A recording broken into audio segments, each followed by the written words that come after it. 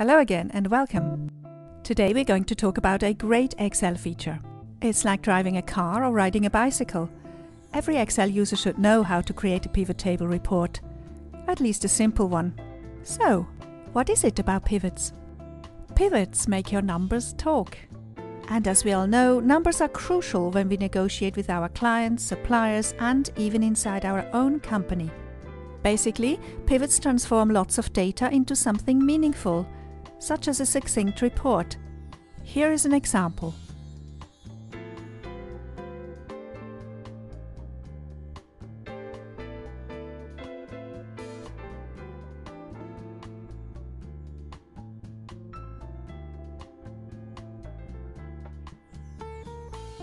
So, let's see how pivots can help you manage your business.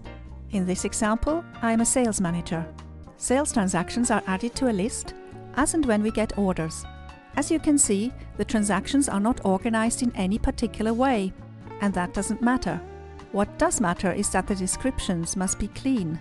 For example, if I spelled investment once with an S and once without, the pivot table report would still work, but it wouldn't be succinct. This is why we need to spend a little time beforehand to make sure that the data source is homogeneous. Preparing the data source is pretty boring, but now the fun starts. Let's create the report we showed you at the beginning.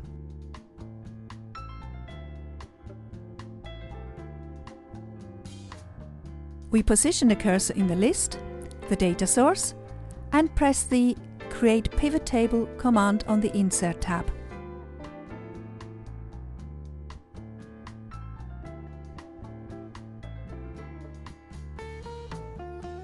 Excel takes the column headings from the original list and places them in the pivot table field list.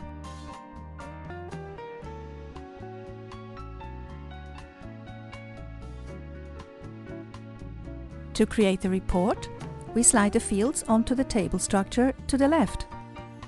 In version 2007 there is an even easier way to move fields.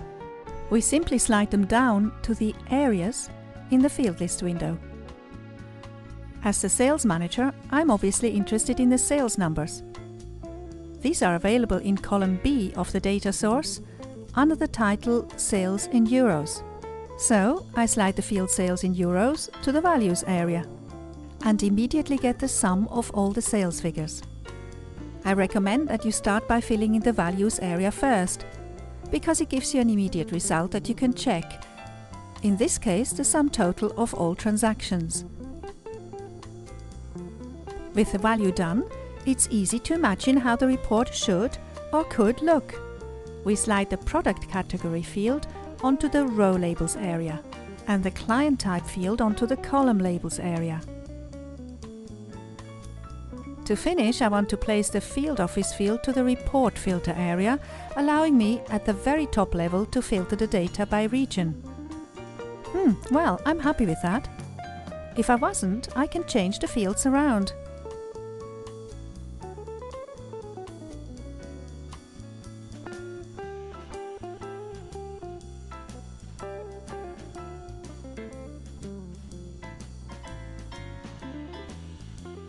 One important thing you must know about pivots is that by default, data is not updated automatically. In other words, if the source changes, a manual manipulation is necessary to update the report.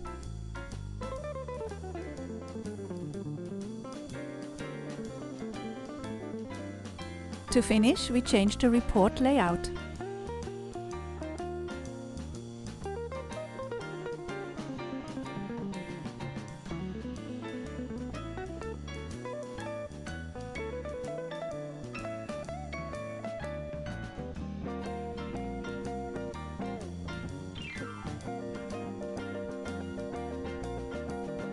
And to make things even easier to understand, we display the data graphically.